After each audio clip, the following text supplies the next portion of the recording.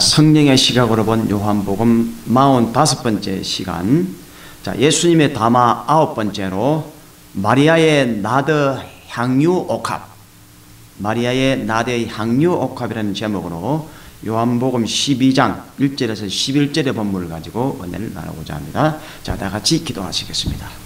살아계신 하나님 아버지 은혜와 사랑에 진심으로 감사를 드립니다. 오늘도 이 부족한 종을 단위에 세우셔서 마리아의 거룩한 헌신, 거룩한 낭비에 관해서 말씀을 나눌 수 있도록 도와주시는 애 진심으로 감사합니다. 오늘도 이 말씀을 통하여서 마리아의 신앙을 깨닫고 우리의 신앙을 점검하는 이 시간 되게 도와 주시옵소서 감사드리며 예수님의 이름으로 기도하옵나이다. 아멘. 자, 이제 세월이 흐르고 흘러서 이제 우리 예수님이 이제 십자가에 못 박혀 죽으시기 일주일 전까지 이제 접근해 있는데요.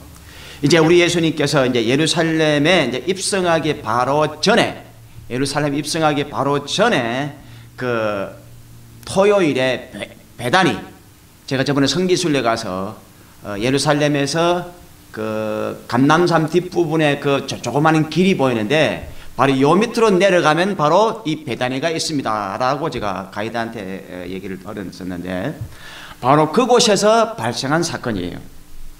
자, 이, 이 나더 향유 옥합 사건, 이 사건은 어, 누가복음 7장에도 나오고 그 다음에 마태복음 26장에도 나오고 마가복음 14장에도 나와요. 하지만 이 학자들은 이 마태, 마가, 누가 이 사건과 오늘 요한복음의 이 사건은 서로 다른 사건으로 해석을 해요. 왜냐하면 이 공간복음에서 나온 이 기사는 예수님의 사역 초기에 일어난 사건이고 오늘 요한복음에 나오는 이 사건은 예수님이 십자가에서 못 박혀 죽으시기 바로 일주일 전에 일어난 사건이기 때문에 서로 다른 사건으로 이렇게 해석을 하는데 이 본문에 언급되어 있는 내용이나 그 스토리나 그다음에 그 의미는 뭐 거의 대동소이해요. 다시 말해서 이 사건이 우리한테 던지는 메시지는 우리한테 주는 교훈은 공간복음의 것이나 지금 이 요한복음의 이 것이나 거의 대동소이하기 때문에 이것이 뭐 과거 것이다 현재 것이다 그것은 그다지 중요하지 않아요. 이 사건을 통해서 우리에게 주시는 예수님의 메시지가 무엇인가 그거는 거의 대동소이하다는 점에서 그래서 이 부분은 이 같은 선상에서 보고 얘기를 하는 것이 우리한테 훨씬 더 유익하고 훨씬 더 어, 좋다는 사실을 먼저 말씀을 드리고 이 말씀을 보도록 하겠습니다. 자, 과거든 현재이든 교회에 가보면 어, 열심히 하시는 분들은 다 여자 성도님들이에요. 남자 성도님들은 좀 이제 귀하고 크고 굵직한 일을 맡지만 교회에 이렇게 작은 일들은 거의 다 이 여자 성도님들에 의해서 이루어진다는 사실을 볼 수가 있, 는데 이 성경에도 성경에도 이 열두 제자들의 그 활약에 못지않게 이 여자분들의 이 신앙이나 활약상을 곳곳에서 볼 수가 있는데 아주 결정적인 순간에 이 여자 성도님들이 큰 역할을 한다는 사실을 우리가 이 사건에서 볼 수가 있습니다. 자, 그래서 오늘 이, 이 나더 향유 옥합 사건에 관해서 우리 한번 살펴보겠습니다. 제일 첫째, 자, 이 나더 향유 한 건의 가치. 자, 이 한 건이라고 되어 있고, 다른 데는 그냥 향유 옥합이라고 되어 있는데, 오늘 이 본문에서는 나더란 말을 사용하고 있죠. 그래서 나더 향유 한 건의 가치에 관해서 살펴보도록 하겠습니다. 본래 이 향유가 이 두 종류가 있습니다. 하나는 그 기름으로 되어 있는 게 있고, 하나는 가루로, 그러니까 가루로 되어 있는 게 있습니다. 근데 이, 이 향료의 이 용처는 보통 그 향효, 이 냄새를 좋게 만드는 그런 음, 이 역할을 하고, 그 다음에 때로는 이렇게 상처를 치료할 때 의약품으로 쓰이기도 하고, 그 다음에 또 화장품으로 쓰이기도 하고, 결정적인 것은 오늘 본문하고 관계가 있는데, 장례용품, 장례용품으로도 이 나드 향유가 쓰이고 있다는 거예요. 특히 이 나드, 이 요한복음에서는 구체적으로 나드라는 말까지 붙이고 있는데 이 나드 향유는 이스라엘에서는 나지 않는 거예요. 다시 말해서 이스라엘에서는 없는 거예요. 자, 그러다 보니까 이 나드는 이 동인도 지역에서 나는 특산품인데 이것은 이스라엘에서 이것을 살려면 전 전량을 수입해야 돼요. 쉽게 얘기해서 수입품이에요. 우리가 이 뭐 perfume 같은 거 이렇게 이 향수 같은 거 살 때 우리가 이태리나 어떤 그 프랑스 제품을 우리가 좋아하잖아요. 근데 거기서 건너온 것들의 공통점은 비싸요. 아주 오리지널 정품은 아주 값이 비싸요. 마찬가지로 이것도 전량을 수입해서 쓰는 거기 때 어, 쓰는 물건이고 특히 이 중동 지방에서는 더운 지방이기 때문에 땀을 많이 흘리기 때문에 이 향유 이 향수를 많이 쓰게 돼요. 그래서 이것은 아주 귀하고 고귀하다는데 굉장히 공통점이 있고요. 자, 오늘 그 가치가 무려 300데나리온, 300데나리온에 달한다고 언급을 하고 있습니다. 자, 한 데나리온은 한 노동자가 하루 종일 일을 해서 받을 수 있는 품삯이 바로 이 한 데나리온이에요. 자, 한 데나리온이 하루 노동자의 품삯이라면 300데나리온이라면 1년 360일 중에 안식일을 빼야 되잖아요. 그건 안식일 일을 하지 않으니까. 자, 그럼 안식일날 약간 52일 이상을 빼면은 안식일을 제외하고 1년간 단 하루도 쉬지 않고 일을 해서 단 한 푼도 쓰지 않고 100% 저축을 가능했을 때 모을 수 있는 돈이 300 데나리온이에요. 제가 미국 생활 20년을 넘어갔지만 어, 자, 노동자의 품삯에서 우리가 1년에 뭐 연봉이 저희 같은 이런 평범한 사람들은 뭐, 뭐 보통 한 3, 4만 불. 여기서 대학을 나오고 이제 조금 많이 버는 사람도 뭐 5, 6만 불도 벌게, 벌입니다만 보통 노동자들은 뭐 3, 4만 불 뭐 내외겠죠. 자, 이 3, 4만 불이 캐시로 모여지던가요? 그렇지 않습니다. 미국 생활 뭐근 20년이 넘어도 3, 4만 불이 캐시를 손에 잡아 본 적이 없습니다. 다시 말해서 300데나리온에 달하는 이, 이 오일을 모으려면 아주 다 평생을 모아야 될 돈, 돈이에요. 평생. 시집가기 전에 평생을 모아야 이 정도 모입니다. 왜냐 써야 되니까 써야 되고 생활해야 되니까 이건 결코 어, 모으기가 쉽지 않는 그런 그런 돈이라는 거예요. 자, 그 다음에 이 순전하다는 말을 쓰는데 자, 뭐 그거는 이스라엘도 여기도 마찬가지겠죠. 가짜가 있고 여기도 이 향수가 가짜가 이미테이션 해가지고 가짜 향수들이 많잖아요. 자, 여기도 그런 게 말하니까 순전하다는 쓰면 순전하다는 말은 한국에 진짜 순 참기름 할 때 진짜를 붙이고 순자를 붙이잖아요. 막 그런 의미로 생각하면 별로 그 차이가 없습니다. 근데 그 의미가 이 πιστικῆς라는 이 말이 순전하다는 말이 헬라어인데 이 단어가 πιστός 다시 말해서 믿는다는 믿는다는 그 어, 헬라어의 원어 이게 πιστός에서 유래된 말이라고 합니다. 다시 말해서 믿을 만한 순전하다는 말은 정말 믿을 만한 그런 오일이다. 자 이렇게 해석할 수가 있는 거예요. 그, 그 다음에 공관복음에서는 향유 한 병이라고 소개를 합니다. 향유 한 옥합 한 어, 한 옥합이니까 한 병이라고 소개를 하는데 여기서는 한 건이라고 얘기를 합니다. 이한 건은 어, 보통 뭐 어, 온수로 하면 10온스에 해당하고 그램으로 따지면 340g 정도의로 어, 학자들은 양을 추정하는데요. 제가 제가 옛날에 가게에서 일을 할 때 아주 고급 오일은요 아주 병이 조그만해요. 아주 병이 조그만한데 값이 아주 비쌉니다.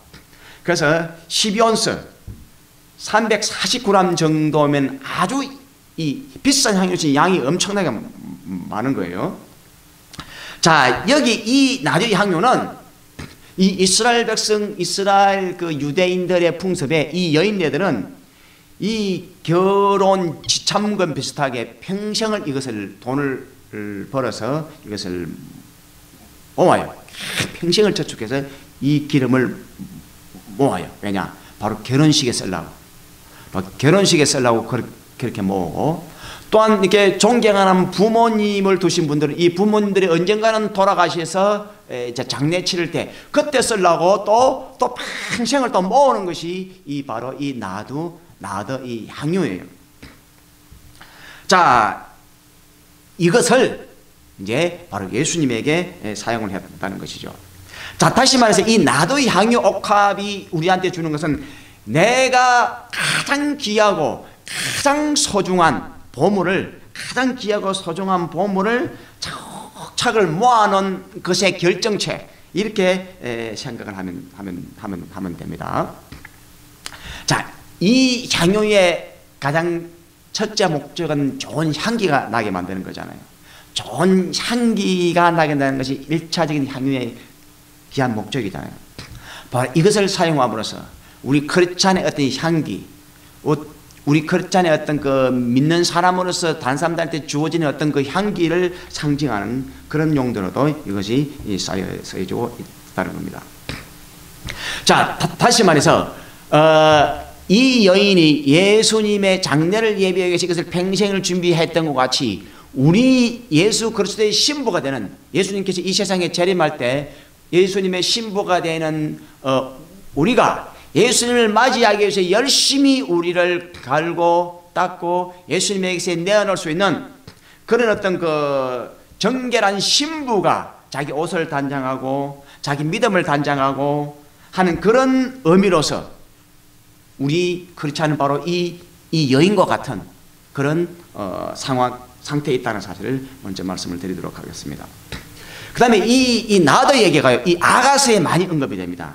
이 아가서에 보면 나도 기름이라 해가지고 아가서 1장 12절에 나오고 4장 4절에 나오고 또 몰약과 향제로 그리고 장사 치르는 미라 향료로서 아가서 3장 6절에도 언급이 되는데 자 이스라엘의 여인들의 최고의 향기이고 아픔을 치료하는 머락 장례를 치르는 죽음을 준비하는 기름으로서 또는 생명을 다하는 헌신적인 사랑을 상징하는 것으로서 이 나드가 구약 성경에도 써지고 있고 특별히 구약 성경에는 이, 이 여인의 상대자인 이 솔로몬이 이 향기를 맡고 그 여인과의 사랑에 빠지면서 솔로몬이 그 향기를 맡고 그냥 그렇게 기뻐하는 모습을 볼 수가 있는데 이 세상에 재림하실 우리 그리스도의 신부인 우리들의 그 향기이기도 어, 향기이기도 한 거죠. 바로 하나님이 바로 우리들을 통해서 바로 이 나의 향유 옥합의 그 어, 향기를 맡듯이 우리 믿는 사람의 향기를 맡는다는 사실을 우리는 기억해야만 될 것이에요. 자, 이제 두 번째입니다. 자, 이제 두 번째 나의 향유를 발에 붓고 머리털로 씻었다는 말씀이 나옵니다. 자, 이 향유를 어디에 부었는가에 관해서 공간복음과 이 요한복음의 표현이 좀, 좀 차이가 나요. 그래서 마태, 마가는 이것을 머리에 부었다고 표현을 하고 있습니다. 이 머리에 부었다 이렇게 표현을, 표현을 하고 있고, 그 다음에 또, 어, 또 마태복음에서는 또 이것을 몸에 부었다고 말씀을 하고 있습니다. 몸에 부었다고 말씀하고 있습니다. 근데 이 요한복음에서는 이것을 몸에 부은 것도 아, 아니고 머리에 부은 것도 아니고 발에 발에 부었다고 말씀하고 있습니다. 발에 부었다고 말씀하고 있고 또 특별히 강조하면서 마리아가 이 머리털로 이 머리털로 예수님의 발에다가 이 향유를 붓고 머리털로 예수님 발을 씻었다는 내용이 이, 이 오늘 본문 3절에 마리아는 지극히 비싼 향유 곧 순전한 나드 한 근을 가져다가 예수의 발에 붓고 자기 머리털로 그의 발을 씻으니 향유 냄새가 집에 가득하더라. 자, 이 요한은 이 부분에 대해서 차근해서 집중적으로 우리한테 강조를 합니다. 단순히 부은 것이 중요한 것이 아니라 어디에다가 부었고 그 붓고 난 다음에 어떻게 행동을 취했는가까지 구체적으로 우리한테 보고를 해주고 있다는 거예요.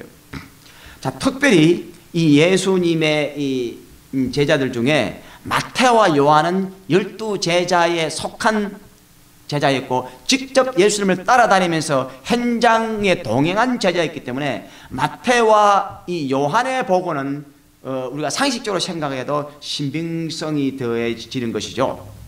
하지만 이 마가와 누가의 경우는 마가와 누가의 경우는 예수님의 열두 제자에 속하지는 않지만 사도 바울을 통해서 당시의 사람들을 통해서 정확한 근거에 의해서 기록을 했다는 겁니다. 특별히 마가복음은 사복음서 중에 제일 먼저 기록한 게 마가복음이기 때문에 후에 이 마가복음이 기록 그 후에 이 마태, 누가, 요한이 기록될 때도 이 마가복음을 참고해서 기록했을 것이라고 후대 학자들은 참고하기 때문에 마가복음에 차지하는 최초의 복음서라는 점에서 굉장히 그 위치를 차지하고 있죠.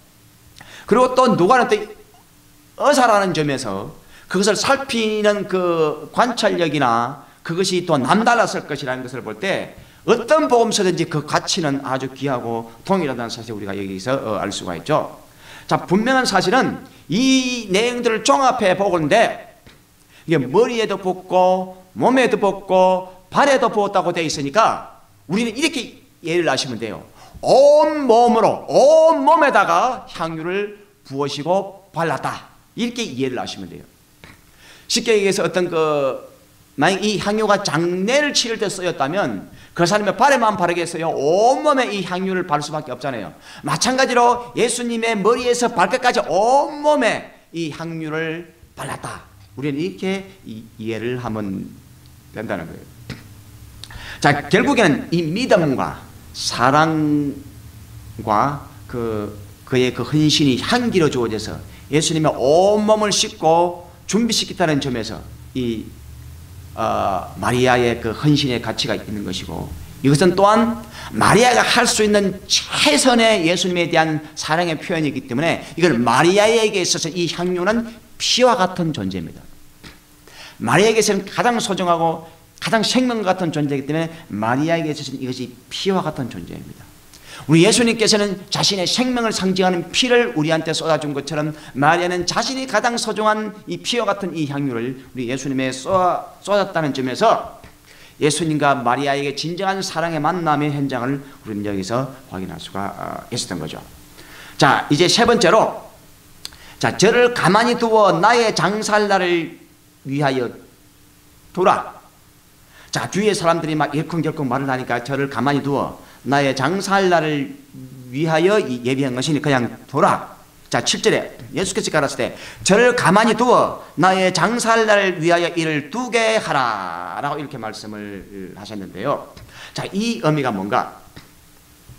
자, 이 헌신에 마태 마가는 제자들, 사람들이라고 나와 있고요. 요한은 가련 유다라고 직접 언급을 합니다. 왜냐하면 이 거룩한 이 그렇게 값비싼 걸 이게 막 낭비나니까 마테마가는 옆에 사람들이 또는 제자들이 이 사실을 두고 불평하기 시작했다라고 말 기록하고 있는데 사도 요한은 그것이 가른 유다라고 콕 집어서 가른 유다라고 콕 집어서 어, 얘기를 얘기를 하면서 어, 300데나리온이나 되는 가치인데 이것으로 가난한 자를 왜 도와주지 않고 이렇게 낭비를 하느냐? 자, 이렇게 어, 얘기를 하게 되어지죠. 자, 그런데 이 사도 요한은 이것을 훨씬 이후에 기록했기 때문에 이 가론 유다가 어떤 의도로 이 말을 했는지를 주석을 붙이고 있습니다. 자, 이 6절에 보니까 이렇게 말하면 가난한 자들을 생각함이 아니요 저는 도적이라 돈깨를 받고 거기 넣는 것을 훔쳐 가미려라 결코 가난 자를 위해서 한 말이 아니었다는 게 사도 요한의 진단이고 사도 요한의 시각이에요. 이것은 하나님이 사도 요한에게 준 영감이기 때문에 하나님이 이 가른 요달의 그 진정한 마음을 간파한 진정한 마음을 간파한 내용이라는 거예요. 자, 여기서 우리가 뭐 이 사건과 직접적인 관련은 없지만 우리가 교회에서 이거 공동회의나 회의를 해보면 유단히 돈에 관해서 민감한 부분이 있어요. 유난히. 어? 그래서 이 돈을 왜 그렇게 썼느냐? 우리 주위에 어렵고 힘든 가난한 이, 이런 이런 이웃들이 얼마나 많은데 왜 그렇게 쓸데없는 데가 돈을 썼느냐라고 말하는 사람이 있습니다. 그런데요, 자세히 보면 진짜 그 사람이 가난한 사람을 위해서 저 말을 하는 것일까? 아니면 평소에 자기의 물질관을 자기의 물질관 자기 어떤 그 속에 있는 그, 어? 이 물질에 대한 그 풍족하지 못해서 오는 물질에 대한 어떤 민감함, 개인적인 물질적인 성향을 드러내는 것인지, 진짜 가난한 자를 위해서 그 하는 것인지, 교회 생활 오래 하다 보면 금방 알 수가 있어요. 자, 오늘 여기도 겉으로 볼 때는 300 데나리오면이 뭐 엄청나게 큰 돈이잖아요. 그걸 예수님한테 팔아봤다니 우리 그렇게 생각했어요. 우리 예수님도 우리 예수님도 이 귀한 것을 왜 내 팔에 부어 차라리 저 가난한 자에서 도와주는 게 낫지 나는 괜찮아 나는 괜찮아 나는 어차피 일주일 뒤에 죽을 사람이고 이것을 가난한 자에 도와주는 것이 내 뜻이기도 하다 라고 또 생각할 수가 있어요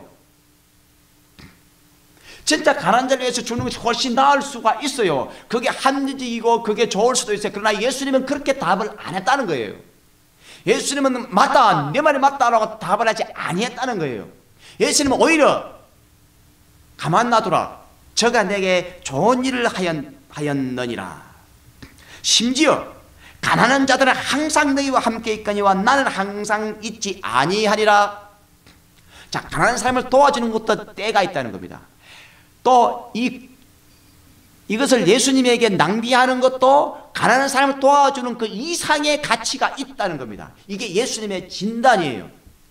다시 말해서 교회나 어떤 그릇에서 우리가 물질을 집행할 때 세상 눈으로 그것을 보면 이것이 낭비하는 것 같고 쓸데없는 돈 쓰는 것 같고 교회 돈을 낭비하는 것 같지만 하나님의 시각에서 볼 때는 그것이 어떤 데 쓰는 것보다도 가치 있게 쓰일 수도 있고 또 아니면 정반대일 수도 있습니다.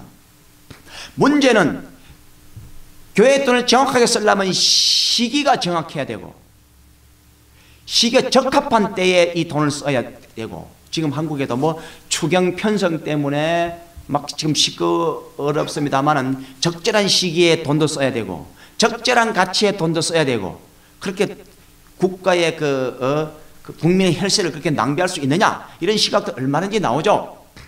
자 어쨌든지 간에 이게 교회 돈도 교회 돈도 그런 의미에서 진정하게 가난한 사람을 걱정하는 사람이라면 교회에서 회의할 때 소리 지르면서 따지지 않습니다. 그럼 평소 때 그렇게 삽니다. 평소 때. 그래서 우리는 그런 것도 이런 걸 통해서 우리가 분별할 수 있는 그런 눈도 어, 가져야 될 필요가 있는 거죠. 자, 그 다음에, 어, 이, 이 마리아의 이 헌신은 주님이 이제 일주일 후에 돌아가시는데 우리 예수님은 장사를 위해서 준비하는 것으로 이해했다는 겁니다. 과연 과연 이 마리아가 정말로 일주일 뒤에 예수님이 죽을 것이라는 걸 아시고 준비하였을까? 라는 의문이 생깁니다. 왜냐하면 일주일 뒤에 예수님 죽는다는 걸 누, 가 알아요? 이 마리아가 그걸 어떻게 정확하게 알고 있겠어요? 자, 우리는 이 사실에 관해서 얼마든지 마리아를 쳐다보면 이 일을 제공할 수 있습니다. 마리아가 그냥 한 것이지 그게 꼭 예수님의 죽음을 위해서 준비했다는 근거가 어디 있느냐라고 묻는다면 우리는 답을 내, 내놓을 수가 없습니다. 그러나 이건 예수님이 직접 한 얘기이기 때문에 예수님이 그렇게 여겼고 예수님이 그렇게 한 얘기이기 때문에 우리는 그대로 믿을 수밖에 없어요. 다시 말해서 우리가 어떤 그 하나님의 돈이나 그 물질을 쓸 때 내가 무엇 때문에 쓴다고 확실하게 말을 할 수는 없어요. 그러나 하나님께서 그 물질을 받으실 때, 하나님께서 그 물질을 연락하실 때, 이, 이것은 하나님의 거룩한 일을 위해서 저와 여러분들이 하나님한테 헌물한 것이다라고 이해하고 수용해 주신다는 거예요. 이게 얼마나 또 귀한지도 몰라요.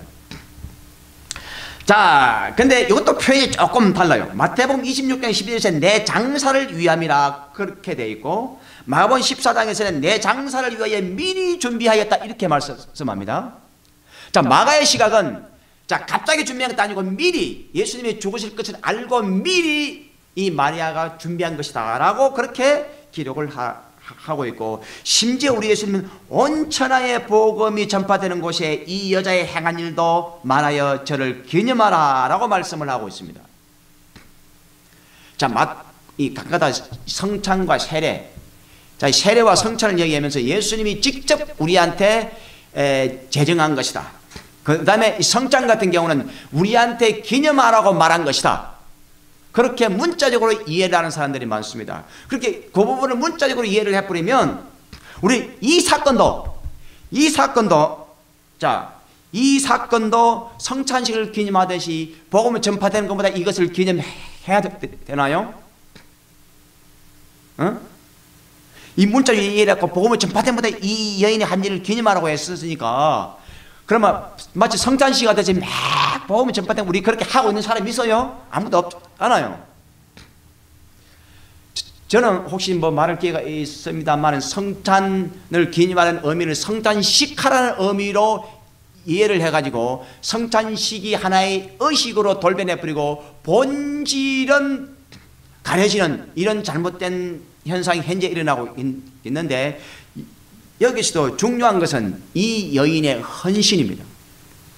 그 다음에 이 여인의 헌신은 우리의 믿음 생활을 상징하고 있기도 하고요. 한 개개인의 헌신, 한 개개인의 그 사랑을 예수님은 일일이 다 기억을 하고 있고 그거 전부가 다 예수님의 예수님을 위해서 일하는 것으로 예수님은 카운트하고 있다는 겁니다.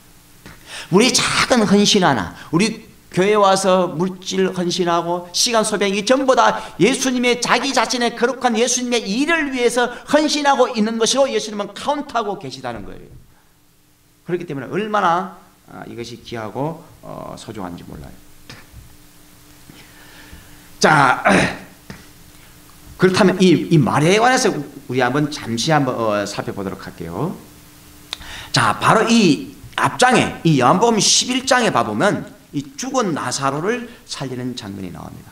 자, 그 요한복음 11장에 봐보면 어, 11장에 봐보면 1절부터 나옵니다. 어떤 병자가 있으니 이는 마리아와 그 형제 마르다와 촌 베다니에 사는 나사로라. 자, 이 아까 베다니에서 벌어진데 베다니 그 얘기를 했죠. 근데 2절에 보면 무슨 말이 나오면 이 마리아는 향유를 죽게 붓고 머리털로 주의 발을 씻기던 자요 병든 나사로는 그의 오라비려라. 다시 말해서 죽은 나사로를 살린 이 사건은 보다 나중에 일어난 사건인데 먼저 일어난 사건을 얘기하면서 이 마리아를 소개하고 있는데 이 머리털로 향유를 벗고 발을 씻기던 그 마리아다라고 요한은 언급을 하고 있습니다. 다시 말해서 요한은 사건이 있고 난 다음에 훨씬 뒤에 음? 훨씬 뒤에 근한 근한 근한 60년 이상 뒤에 이것을 기록했기 때문에 훨씬 더 뒤에 일어난 사건을 앞에 일어난 사건을 얘기하면서 뒤에 일어난 사건을 얘기하면서 마리아를 이렇게 소개하고 있다는 거예요. 자, 여기서 마리아가 무엇을 보았을까요? 여기서 마리아는 처음에는 자기 오라비가 죽었는데 예수님이 오지 않은 것으로 해서 굉장히 서운해했습니다. 굉장히 서운해했고 굉장히 슬퍼 어, 했었던 거죠. 자, 그 다음에 이 마리아는 또 어떤 사람이냐? 예수님이 신방 왔을 때 마리아 마리에다가 음, 그 마르다가 음식 준비에 바빴을 때 이 마리는 예수님 앞에 딱 붙어 앉아갖고 예수님의 말씀을 듣고 있는 일을 선택했습니다. 그래서 어? 이 마리아는 말씀 듣는 일을 택해 있느니라. 그래서 마리아는 예수님의 탁 붙어갖고 계속 예수님의 말씀을 유심히 듣고 있었습니다. 죽음에 관해서 얘기를 들었을 거고 또한 다시 살아난다는 얘기를 들었을 거고 예수님이 언젠가는 대제장의 서경한테 넘겨져 죽음을 당하게 될 것이라는 걸 계속 들어왔었습니다. 그 다음에 이 마리아는 마리아가 있는 그 현장에서 바로 무덤 앞에서 죽은 나사로를 나사로야 나오라 해서 죽은 나사로를 살려내는 부활의 부활의 능력, 죽은 자를 살리는 것을 직접 목격한 사람이 바로 이 마리아예요. 목격한 사람이 바로 마리아예요. 그렇게 아끼고 사랑했던 오빠가 죽었을 때 얼마나 통곡했는지 모릅니다. 통곡을 합니다. 무릎 앞에서 그 무덤 앞에서 그래서 예수님도 같이 눈물을 흘리는 장면이 요한복음 11장에 나옵니다 아주 예수님과는 친밀한 관계 있고 사랑하는 관계였습니다. 예수님이 집에 신방에도 음식 준비는 뒷재이고 예수님 앞에 하면서 말씀에 집중했던 사람이 바로 이 마리아예요. 바로 이 마리아가 자기가 옳다고 생각하면 비방도 서슴지 않고 자기 일을 하는 여인입니다. 300, 그 비싼 돈을 그렇게 허비하느냐? 이 소리를 들어도 이 사람은 자기 일을 하는 사람입니다. 예수님 우리 집 왔는데 음식 좀 해도 안 도와주고 예수님 앞에 뭐하고 있냐 라고 언니한테 비방 들을 일도 서슴치 않게 하는 사람이 이 바로 이 마리아예요 그 정도로 예수님의 말씀과 예수님에게 집중했던 사람이 이, 이 마리아예요 자, 이 사람이 그렇게 귀한 그렇게 비싼 향유를 예수님 발에 쏟을 수 있었던 것은 예수님을 알았기 때문이었습니다. 예수님의 가치를 알았기 때문이었습니다.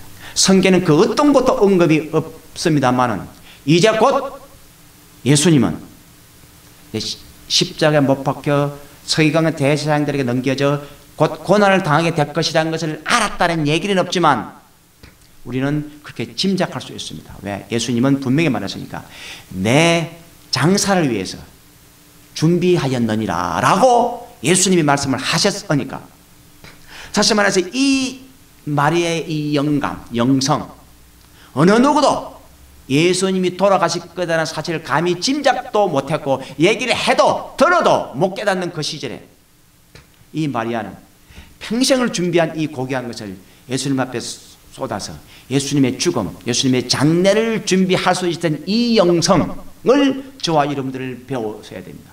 자, 지금은 우리는 예수님의 장례를 준비할 수 없습니다. 이제는 예수님이 이 세상에 재림할 second coming, 예수님의 재림을 준비하는 마리아와 같이 신부의 입장에 저희들은 놓여 있습니다. 자, 예수님이 재림한다고 그토록 외치고 있는데 과연 우리는 얼마만큼 이 마리아처럼 예수님의 재림을 준비하고 있습니까?